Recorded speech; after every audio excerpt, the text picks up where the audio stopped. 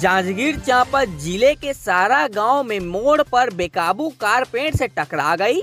हादसे में कार में सवार तीन लोगों को चोट आई है।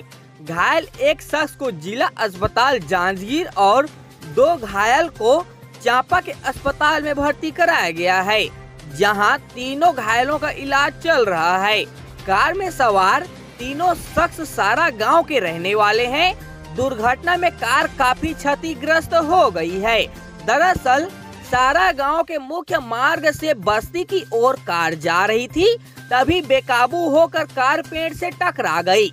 हादसे में कार में सवार तीन लोगों को चोट आई है। हादसे के बाद मौके पर लोगों की भीड़ जुट गई थी और घायलों को कार से निकालकर अस्पताल भेजा गया है। सूचना के बाद मौके पर पुलिस भी पहुँच गई है।